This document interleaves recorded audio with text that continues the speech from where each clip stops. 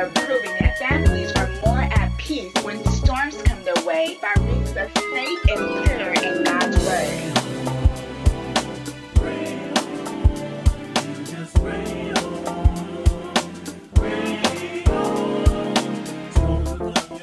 Politics. Politics is relied upon as a righteous platform to address and hopefully resolve the various cares, burdens, and issues of many people worldwide. In fact, many people have a list of issues which they rely on the position of a earthly politician, doctor, lawyer, president, etc., to help fully resolve, right? In fact, in Luke 18:43, look at the woman having an issue of blood 12 years, which had spent all of her living upon physicians. Look at there. Neither could be healed of any. That means any of them, which means he had choices of doctors. Mark 5 and 26 says, she had suffered many things of many physicians, but nothing got better but grew worse. Have you ever had choices, politicians to pick from, doctors to pick from, lawyers to pick from, and none of them can actually resolve your problem? But their qualification was less than the type of issue that you have. Do you think and do you realize if this lady who had the issue of blood, had these doctors, had any of them resolved her issue, would she have ever went to Jesus? There's a reason why God has these things happening and limited, where our issues are impossible. Our issues are bigger than what a president, a politician, and some lawyers and doctors and any of them can ever resolve. Because if most people can find their resolve in man, they would never turn to God. Do you know that God is calling this world, is positioning this world, is apprehending this world to turn to Him, and He's doing that by making and allowing things to be impossible in our issues, and He is looking back on the other side and making it so man cannot do it so that the only option that we have, the option that loves us. For God so loved the world that he gave his only begotten Son, that whosoever believeth in him should not perish, but have everlasting life. It's time to put our issues on the shoulders of another government with a different governor. Look at Isaiah 9 and 6. It says, For unto us a child is born, unto us a son is given, and the government shall be upon his shoulder, his name should be called Wonderful, Counselor, the Mighty God, the Everlasting Father, the Prince of Peace. What is given to us is He who died and He who rose from the dead, to where He is the one with the counsel. He is the one to deal with your issues completely and make us whole. What are we relying on today? In other words, unto us is given a real, full, powerful, issue resolving solution. God didn't just leave us here to pick amongst lesser of two evils. Think about this next thought. There's a scripture that tells us when a spirit goes out of a man and finds seven other spirits more wicked than himself. So there is a such thing as spirits that are more evil than other spirits. Spirits that are more evil or wicked than other spirits. When Jesus comes to deliver us from evil, he doesn't leave the lesser evil there. He gets them all out of there. Look at the Lord's Prayer. Our Father, which art in heaven, hallowed be thy name. Thy kingdom come. Thy will be done in earth as it is in heaven. Give us this day our daily bread and forgive us of our debts as we forgive our debtors. And lead us not into temptation, but deliver us from evil. That's all evil. Don't we want Jesus to deliver us from evil? So God is not leaving us here to actually pick amongst the lesser evil there. Matter of fact, we need to stop using that phrase even in practical terms. I understand the point, but the Bible says life and death is in the power of the tongue. Let's just get evil out the picture and talk about good. The Bible says abstain from all appearance of evil. So let's not settle in life for the less of two or three or 19 evils. Let us take our issues and put them on the shoulders of a government that's not of this world, but a government that is governed by the Holy One, Christ Jesus, that wonderful counselor, that mighty God, that everlasting Father. Let us put our issues and take them, all of our burdens, and lay them on the shoulders.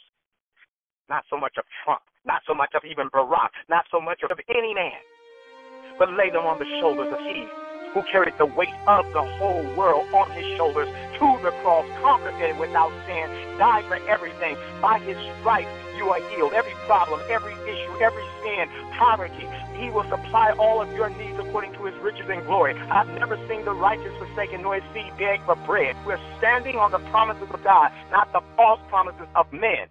Let's look at another situation of issues in the cries of the people.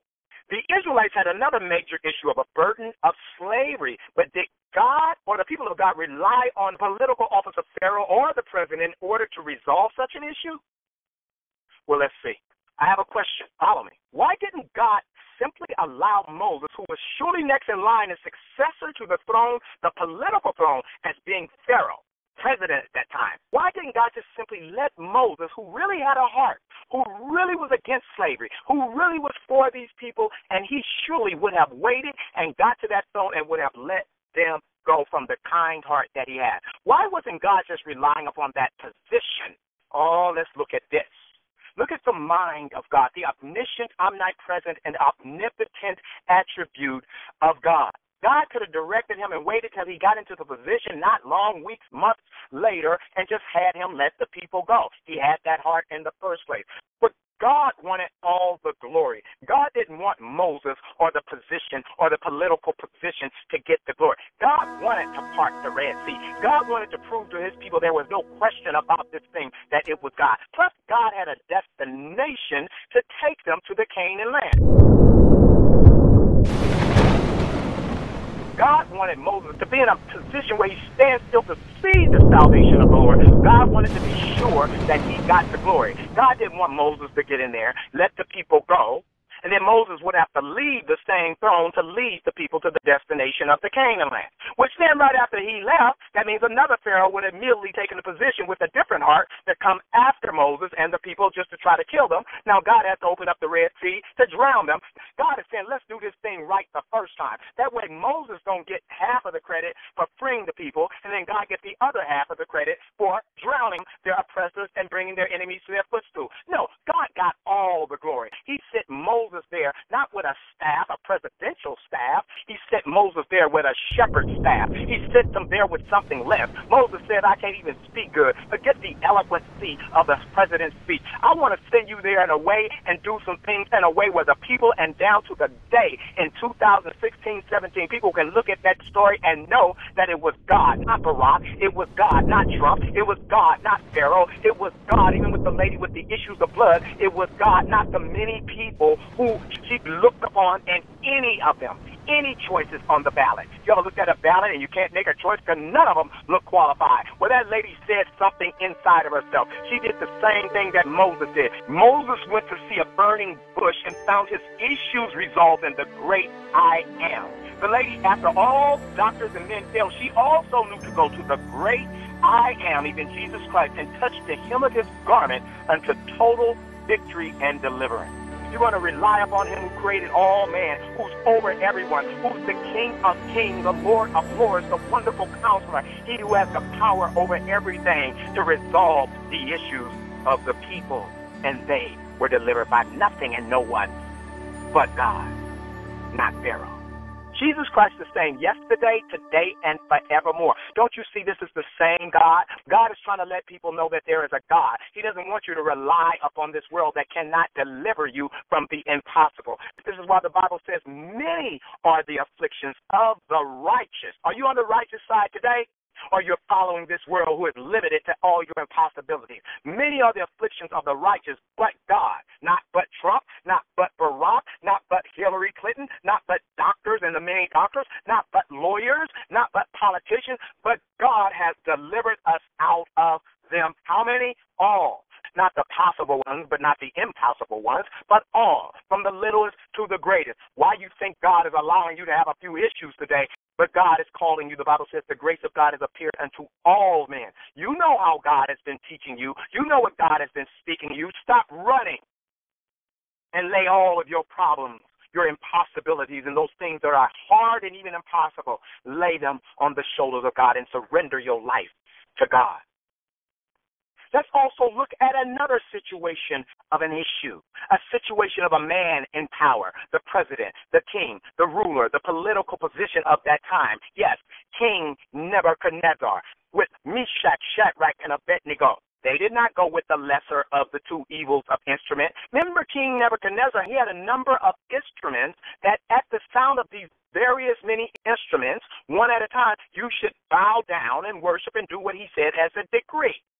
They didn't say, well, we're not going to bow down to the harp. We'll take the lesser, the evil there, and bow down to the flute. They didn't bow down to any of it. Look at the answers that they gave to King Nebuchadnezzar. We will not do this thing, and our God will deliver us. Let's go back to the same scripture. Many other afflictions of the righteous, but God hath delivered us out of them all. He has delivered us out of them all. So they had a faith in God. They weren't relying upon the president, the pharaoh, the king of that time, because sometimes the laws of Caesar conflict with the laws of God. But when we're following God, there sometimes is a conflict. There's nothing wrong with voting. There's nothing wrong with picking somebody as long as they are not speaking against the things of God. There's nothing wrong with following the speed limit. There's nothing wrong with picking up government cheese and eating it. There's nothing wrong. But when we begin to see that in following God, something of your decree over here is not agreeing with the word of God. So they stood next to God in the face of King Nebuchadnezzar and says, We will not do this thing. The scripture says that King Nebuchadnezzar, when he heard these words, he was furious. He was furious. Are you caring today who gets mad at you because you didn't vote? People are furious because you didn't vote. They are furious because of who you voted for. They are furious because as Meshach, Shadrach, and Abednego, you set this one out. This one, I'm not going to put my stamp on the ballot. I'm not going to go with you on this one. What do we see next? We see Jesus. We see the Son of God standing with them as a fourth image in a fire, whereby they wasn't touched by the smoke. They wasn't touched by the fire. Matter of fact, the people that threw them in the fire, after they had been turned up seven times hotter, they got killed. And Meshach, Shadrach, and Abednego, the righteous people of God, were delivered. What I'm saying to you today is the Bible tells us to approve of things that are excellent. We use righteous judgment. We can disagree with things, and we can agree. We can approve of things, but we also have the ability to disapprove to sit things out, to not go along with, to pass on this for the sake of our convictions in Christ Jesus. In the end of time, God wants to look at you and say, Well done, thy good and faithful servant. Not well done, thy good and faithful black man, because we follow what black people have fought so hard to do. And we just follow the tradition of it, even if the thing don't make sense. Can I tell you something? I remember one time I got hungry and I wanted to go to this restaurant to get some fish. It was a Chinese restaurant. And a friend of mine said, no, let's go to San Pablo in Berkeley, somewhere where a black owned business. A place probably they fought hard to get a small man's business loan. A place where they probably fought hard, harder than the Chinese, to finally get the opportunity to open up a business in this particular community. Sure, I patronized them and I went. I got there and this fish was so stale. This fish was so terrible. Let me tell you something. When you go to a movie theater and you see fresh popcorn coming off the tray, coming off the mechanism, most of the time people say, Can I have that fresh popcorn? And you'll eat the fresh popcorn. But there's nothing wrong with the other popcorn that was sitting there maybe five minutes before. You'll eat that too. Can you imagine how terrible fish had to be for me? You throw the fish away. I didn't even want my money back. In other words, I know we fought hard to open up a business as black people, and it probably was easier for the Chinese or for any white person to open up a business. But if I'm getting sick at the stomach, if I got a big food poison problem and an issue inside of me because of that, why am I going to go with the tradition of what black people have fought for instead of making an individual choice and sitting this restaurant out because of the evil? I'm not picking the less of the two fish, the less of the stale one over the stale, stale one. I'm not picking any of it if I'm going to get food poison and die. God is saying use righteous judgment. I want God to deliver me from all evil. Now, let's look at another situation of people and a president or a king or a ruler or a person in a position of political power. His name is Pilate. We know of the situation when Jesus is in trial. And Pilate is there. Pilate is kind of like the kind of person where if Jesus' mother would have been voting before Pilate was in office, and he was running with someone else, she probably would look at Pilate, shake his hand, and say, I'm voting for Pilate because Pilate is so nice and kind that if Jesus, my son, was in problem or in trouble, he looked like he would release Jesus. He would look at this fairly. He would look at it and release Jesus. So look at the story. The Bible says that when Pilate told Jesus, Don't you know that I have power to let you go? Meaning I'm in a position to where I have the power to let you go. Jesus looked at him and said, You have no power except it come from above. Now, when Meshach, Shadrach, and Abednego answered King Nebuchadnezzar, he got furious. That's like a bad president in office who you don't want in office. But still, Jesus didn't rely upon his office to protect him. Oh, God got his people no matter who the president is. But let's flip that back to Pilate. Pilate is like the president of the person you would want to vote in because he seemed like he would have Jesus back, and he did. Matter of fact, when Jesus said that thou hast no power except it be given above, it says that Pilate wanted to release Jesus. No matter who the president is, even if you vote for the person you like and want, and they are the Christian of Christians, do you know that certain things have to fulfill themselves? That no matter what Pilate wanted to do, Jesus was going to the cross anyway. That's why you see certain things as Jesus was in his journey, it said that it may be fulfilled, that it may be fulfilled, that it may be fulfilled. I don't care who the president is, good, bad, evil, or your mama would have been in there. She would not be able to stop destiny. What God is saying is yes, approve of things that are excellent. Vote for things. If somebody say two plus two is four, you agree. If you hear somebody say two plus two is eighty nine, you disagree. But at the end of the day, regardless of where people take a stand, God is in control. God is going to bless his people. Certain things are going to fulfill itself. This is why Jesus said, I came not to bring peace, but a sword. Why do we think this world is going to be made a better place? Who would turn to Jesus if you can find peace in the world? Who can turn to Jesus if the doctors could heal every impossible issue of blood? Who would turn to Jesus if man would actually resolve your problem? God doesn't want the world to be the solution because why would you come over to the solution, which is Christ Jesus? So this world is going to wax worse and worse. In the last last days, perilous times shall come. It's a description. God has given us a description of something that no president is going to make better. So the only hope for us as Christians, or for us as believers, for us that believe that Jesus is the answer, this is the perfect time. The timing of this is perfect to go to the street. The timing of this is perfect while people have no hope. This is the perfect time to not only preach Jesus, but set an example example so they can look at you, so they can see the Word of God, because nothing else is working. This is the perfect time. We already have a governor. We already have a wonderful counselor. He's been there all the time so that some of us will pray that the Lord of the harvest, that he will send forth laborers into his harvest and go to that harvest and preach him, teach him, be an example of him so that now that everything else has failed, now that the doctors can't do it, the president can't do it, the politicians are lying. They don't look right, sound right, feel right, nothing good. That is the perfect opportunity. Take the churches to the street, to the homes, even if it is one on one. Remember in the eighth chapter of Acts, God told Philip to go climb in a chariot and sit up and preach Jesus one on one. Don't underestimate the one on one situation. Don't think it always has to be a mega church. There has to be 5,000 people, 500 people, or everything is televised and everything is known.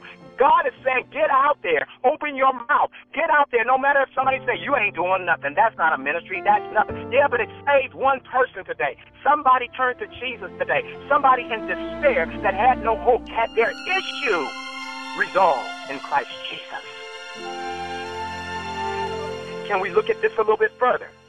In terms of tradition, in terms of following your race, in terms of following your family, your tribe, let's look to Zechariah in the book of Luke. The angel Gabriel said to Zechariah, I stand in the presence of God, meaning the name John is coming from heaven. What am I saying here as it relates to issues? The name John was not traditional in his family. Matter of fact, there was an issue amongst the in laws, or as my father would say, the outlaws of cousins, uncles, aunts, sons, daughters, and people, and mothers and aunties coming together trying to run your house. They looked at Zechariah as he was silenced for nine months where he could not speak of. And they looked and looked at all they fought for, all they strove for, all they were accustomed to, the tradition of this family, this nationality. Zechariah was a traditional name, Zechariah the second, or Moses, or Abraham, or something that was traditional of what they fought for, what they lived for, what has been the going tradition of that thing. But God, do you know God sometimes will break the tradition? He doesn't want you doing the black thing, the Jew thing, the Zechariah thing. God is not going to say in day of judgment, well done, thy good and faithful black man. We want to say, well done, thy good and faithful servant. Are we here to serve God or go along with man? Sometimes it's good to go along with some things as long as it does not violate what the angel or what God told you. So God is telling him to do something different than the flow of the tradition of his people or his family or his tribe. I know we have fought, but not everything we fought for, not every piece of fish, not everything is totally going to end up in a position that agrees with my own obedience or a conviction. Zechariah was convicted. So what did he do? He got a piece of paper, a ballot. we know the story. He wrote this. When he wrote John, he wrote what God told him. He wrote. What are you writing down? You don't have to write what somebody else is writing. You don't have to do what everybody else is doing. Zechariah takes a piece of paper and they're looking at him, thinking that he's going to go along with what they want, trying to start division, Look at all the division that happens between things because you don't do what they do. You didn't vote for who I voted. You set this one out, but you what? Look at the division that black people, white people are having amongst trying to even find out what decisions you make when really you have an individual right to actually serve God in the way that He has revealed things to you. Because God is not relying upon the political office anyway. Look at John the Baptist. John the Baptist baptized Jesus. But in the mind of John the Baptist for a second, he thought from a traditional standpoint, shouldn't it be mm-hmm. me that's baptized of you? Jesus had a purpose. What Jesus told him is becometh to fulfill all righteousness, the root word right. Sometimes doing what's right is not the tradition. What's right is what God is showing you in the moment, and you break and do things a different way than you used to do them. We live from day to day and we listen to God. Jesus said, Thus it becomes to fulfill all righteousness. Suffer it to be so for now. Suffer it to be so, meaning for now, I'm going to sit this one out. For now, I'm going to do it this way. For now, Zechariah might call his next son Zechariah the second, but this one is going to be called John. This debate this presidential election, I'm doing something different. God told me to do something different. This one, I'm going to baptize you. This one, you're going to baptize me because the right thing to do sometimes moves from moment to moment with the move of God, and it doesn't vibe with tradition. This is why Jesus said, You have made the commandments of God of none effect by your tradition. Let's look at Peter on the roof in the 10th chapter of Acts. Peter was on the roof, and it said he would have come down meaning traditionally this was something he did as a root king, and he was married and he was staying with Simon the tanner. It said he would have come down, meaning his plan. It didn't say he would have come down and smoked crack. He would have went to the strip club. He would have robbed First National Bank. It say anything bad. Even good things God will interrupt. He would have come down and would have eaten because they were down there preparing food. None of this was bad stuff. They weren't preparing drugs, crack, guns, knives, prostitutes. They were down there doing a good things. God doesn't just interrupt bad things that we should depart from. God even interrupts our daily routines of even things that are good to give us something better. So it says that God interrupts this, holds Peter into a trance, takes him on another vision, and then he finds himself later coming off the roof, meeting up with Gentiles. Not something he never did. He became to walk in a new aspect and dimension of his ministry, not doing what he would have done next, but God can interrupt everything we used to do. Everything. He wasn't used to sitting with Gentiles. He stick with the Jews. I stick with the blacks. I stick with the black restaurant. I stick with this. Yes, that's traditional, but sometimes God said today is going to be a new thing. Want you to name him John. Today Meshach, Shadrach, and Abednego use your judgment and sit this one out. Today, I want you to baptize Jesus instead of Jesus baptize you. Today, to do something according to the leading of God's Spirit, even if the rest of the blacks, whites, and Chinese did not get that revelation. This is why Jesus said to Peter, Who do men say that I am? Okay, Okay, they say this, some say that. But he asked Peter, Who do you say? In other words, don't follow them. What God has given you. He said, Flesh and blood has not revealed this to you, but my heavenly Father revealed this unto you. Sometimes God just wants you today to go on a fast, you to back off from everything, you to go to a mountain and pray, you to make the decision in terms of what he has given you. The Bible says, To whom much is given, much is required. I don't know how much knowledge the next man has. I don't know whether I'm more than you or less than you. But according to where I stand in God, I make decisions. We as the children of God make decisions on the enlightenment and the measure of enlightenment and faith that He has given us. It may differ from yours. This is why Paul said in one part of the scripture, if a man is weak in the faith, if a man believes that he should not eat meat, in their mind, God has said He will honor that faith at least as a loyalty that they want to be right with God. Because if I think that's wrong. God will honor the fact that I want to be right with Him. You may laugh at me or her or all these groups of people, but if I think I don't want to do this, God honors that as saying, at least in your mind, you're conscious, for conscious sake, you are lining up with hunger and thirst after righteousness. This is why Jesus told John the Baptist, Thus it becometh to fulfill all righteousness. Even in false doctrine, God say, Come out of her that you be not partakers of her plagues not pick the lesser of an evil. In fact, the Bible says it's impossible to please God without faith. For all that come to him must believe that he is and that he is a rewarder of all them that diligently seek him. Have God ever got mad that you put all of your trust in him and did not trust in man? The Bible says, trust in the Lord with all thine heart and lean not to your own understanding. Who said that it's a sin not to vote? Even if King Nebuchadnezzar wasn't in office yet, but he was actually presenting his policy on what he would do with the various instruments and his requirements. They would not even have voted for him. But he was already in office, so they just took it there and looked at the particulars. Let us go back to Pharaoh. Let us go back to Egypt to where even the kind hearted Pharaoh or president in the land at that time, this Pharaoh had issues with himself too much for himself to resolve or be at peace about. He had to call for a faithful man of God named Joseph. We know the story, who came to Pharaoh to interpret Pharaoh's dreams and tell Pharaoh, the president at that time, what's going on, what is, what's going to be. This is why Jesus tells us, the saints, that we are the light of the world for the world. Presidents, pharaohs, kings. Look at Genesis 41 and 15, where Pharaoh said to Joseph, I have a dream, and there is none that can interpret it. And I have heard of thee that thou can understand a dream to interpret it. That's Genesis 41 and 15. Listen, there is not in Pharaoh's staff or presidential staff or cabinet to understand what is going on. There's none. He had people, he had counselors, and he had different people, but they obviously didn't have the understanding. Do it look like God is trying to actually work from inside the cabinet's office and the pharaohs and the kings? Look at what Pharaoh says. Pharaoh told Joseph that I heard you can understand saints of God, we are the one that have the understanding, which is why Jesus told his disciples, Unto you it is given to know the mysteries of the kingdom of God. On another occasion, when Jesus was with his own disciples, the scripture says, Then opened he their understanding that they might understand the scriptures people, if you don't get on God's side in Jesus, and Jesus don't give and open your understanding, the world won't even have it to understand their own personal issues or an understanding of any of the scriptures, what is, what's going to come, what's going on, or how to resolve it. Even one of the most famous quotes from the man of God, speaking of Joseph again, to his own brothers that sold him into slavery, which is in Genesis 50 and 20. Listen, it quotes, Ye thought evil against me, God meant it unto good to bring to pass as it is this day to save much people alive. End quote.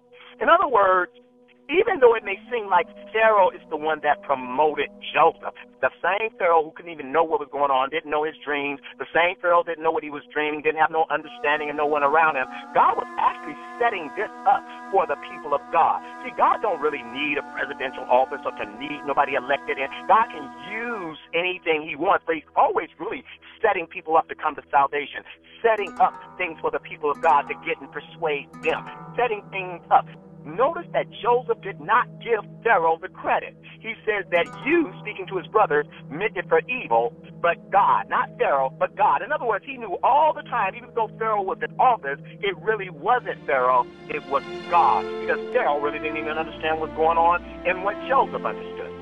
God doesn't need the president, the president needs God. And we as the people of God, like Joseph, don't need the lack of the president's understanding. He needed Joseph's understanding. And this applies to all kings, presidents, no matter who's in office. Look at what King Agrippa, we know the story of King Agrippa. Look at what he even said on another occasion to the Apostle Paul after Paul enlightened the king.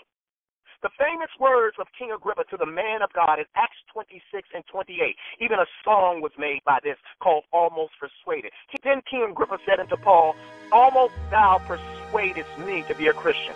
Same thing with Pharaoh. I don't care who it is through all time. God is setting things up for us to be their persuasion, for us to persuade them. How can they persuade us when we are the light of the world, when Christ is using us to persuade them and they don't have the understanding? Who's persuading who?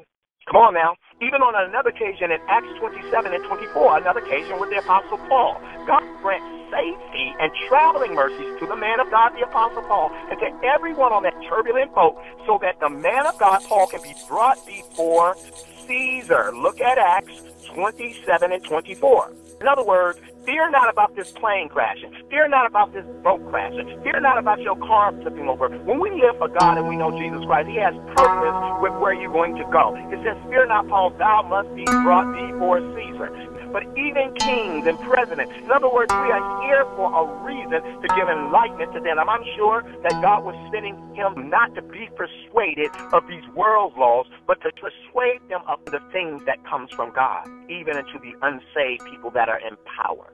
God is granting traveling mercies for the purpose of us getting to other people, getting to kings, getting to the world. God has us here for a reason so that we can be the light of the world and lead people to the kingdom of God. Listen, again, let us go back to Egypt, where only the people of God were protected, favored, and saved from the death angel that killed even the Pharaoh's own son. Why? How? Without the blood of the Lamb, which was then, at that time, the blood of the Lamb was required by God to put over the doorpost. And anybody who was in there, the death angel passed over. That's where we get the term the Passover. Even Pharaoh's son, Pharaoh the president, Pharaoh the Pharaoh, Pharaoh the king, Pharaoh with all his chariots and all his horses and all his counselors and all legislation, they could not stop what was coming.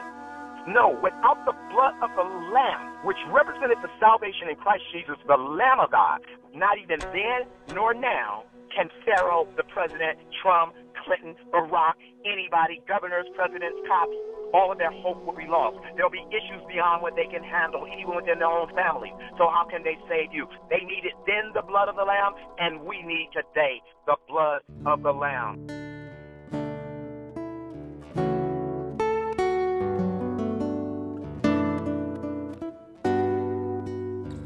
This is why even John the Baptist in the New Testament, when he saw Jesus coming, he lifted up his voice, knowing what time it was, saying, quote, Behold the Lamb of God, which taketh away the sin of the world. Today, this is the same Lamb that any president, any pharaoh, any king needs, no matter who voted him into office, you're going to need the blood of the Lamb to deal with some stuff and some issues beyond what you can handle. Thank God for Jesus Christ, our King, our governor, because he is the answer, as it is written in the Word of God, of the people of God. And they overcame by the blood of the Lamb and by the word of their testimony the testimony that Jesus gave you through the truth in salvation and not a watered down testimony restricted by the unbiblical guidelines of this world governmental 501c3. A lot of ministers have their hands tied behind their back because they're allowing the government to persuade them instead of we, as Paul, persuade King Agrippa in the testimony of Christ Jesus. Think about it. Without even a governor or a president's law passed or a proposition passed, God can even break down crooked cops. You don't believe me? Let's go to another occasion where Paul was locked up, beaten, locked up in a cell, but God delivered him and everyone around him in the jail cell while the same cop that beat Paul was ready to kill himself in misery. Paul had to tell the cops, do yourself no harm. We are all here.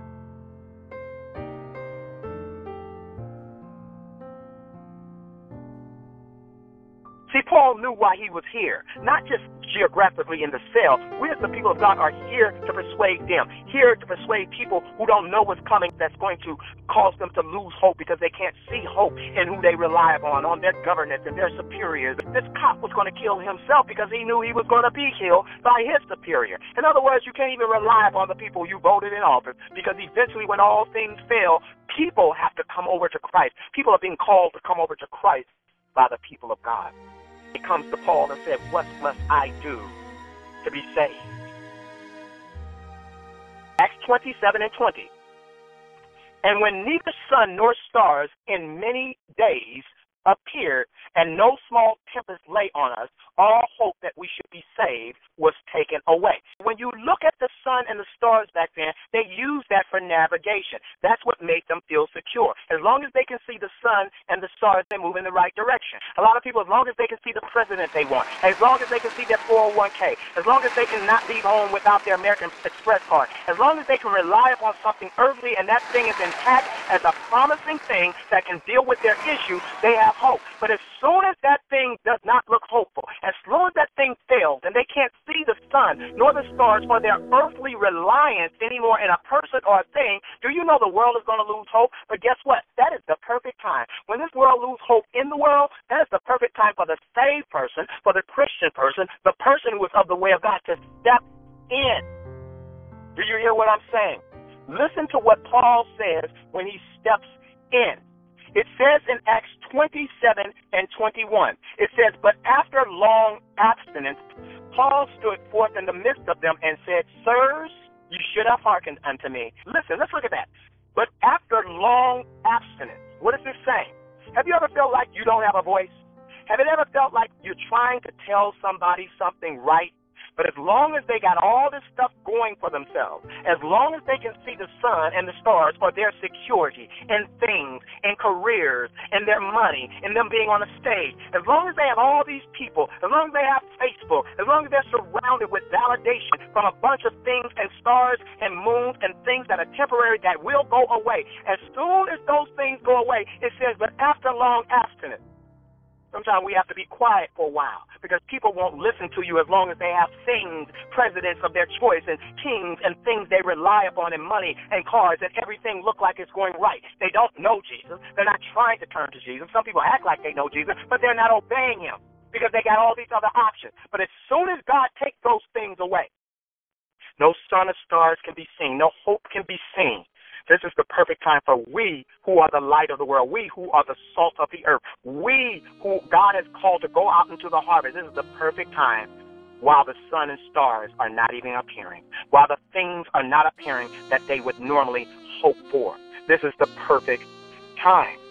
Even in the 15th chapter of the Gospel of St. Luke, we hear the story of the prodigal son.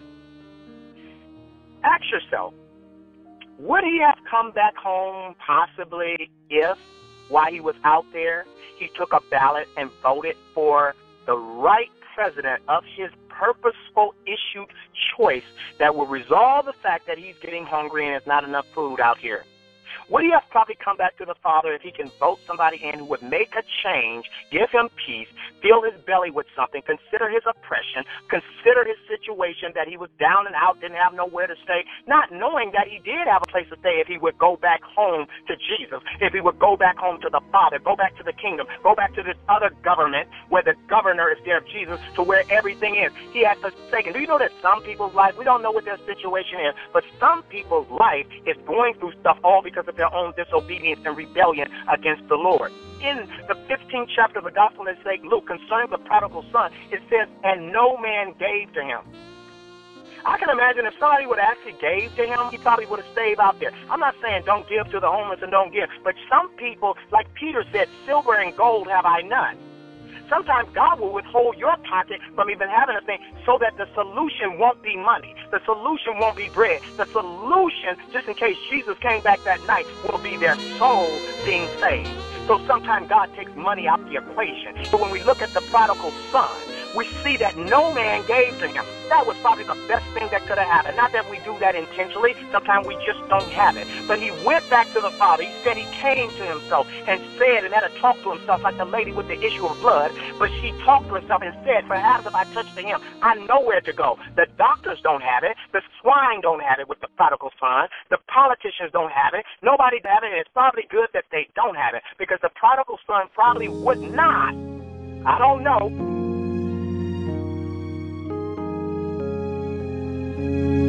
Sometimes God allows the only direction of hope to be the only one who really loves you, which is Christ Jesus.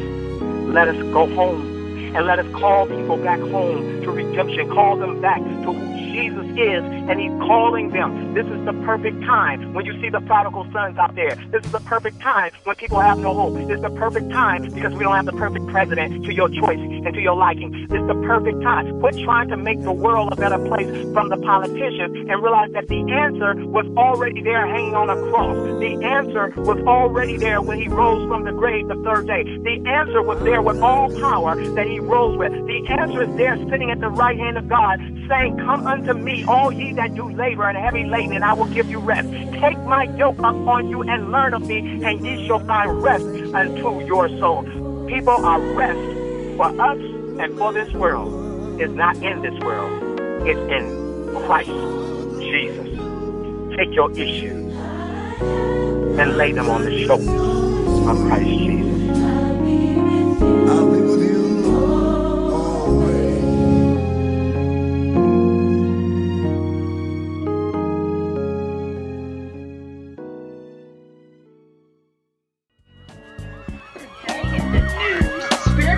Are proving that families are more at peace when storms come their way by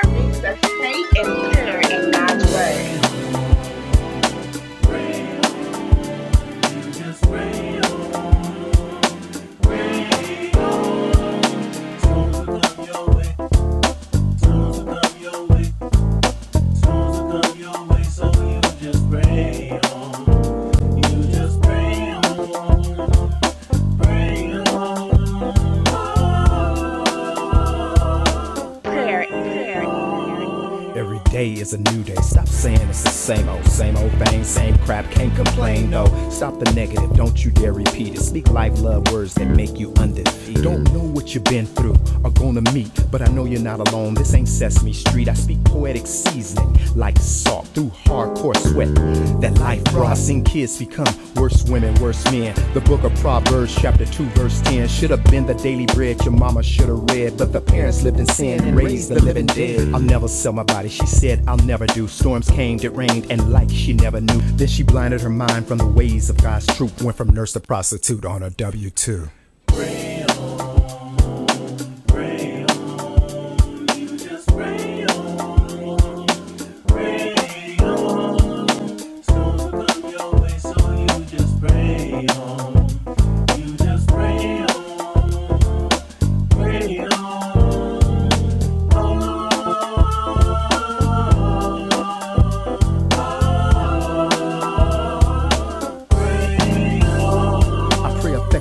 Prayers while you walking about. Prayer reaches dark secrets you ain't talking about. Only you and God knows the stains and the doubt. Without the blood of Jesus, the stains ain't coming out. I heard of military atheists in their glory. Navy SEALs decorated. You gotta hear the story. Ambushed by enemies, spelling death against the odds. Guess what? They screamed last.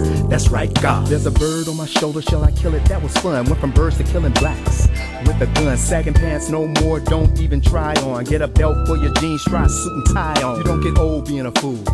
You better preach. A village to raise kids. So let's teach. Get prayer back in the home. Let's get back to the love. Cause prayer's disappearing like a ring around a tub. Jesus, we thank you for dying for our sins and rising in complete victory for our sakes over everything that we would face. I now accept your deliverance and salvation in confession that where I am in my own sins is not your loving will and plan for me. Jesus, you said with your own word in 1 John 1 and 9, if we confess our sins, he is faithful and just to forgive us our sins and to cleanse us from all unrighteousness. And because you cannot lie as God, I now ask your forgiveness forgiveness and your help and your power to deliver me from the position of darkness and sin into the position of salvation in the light in Christ as my personal Savior for all of my days. I now, with your strength and grace, turn from all sin and commit to reading and following your empowering word as my daily bread. Jesus, we thank you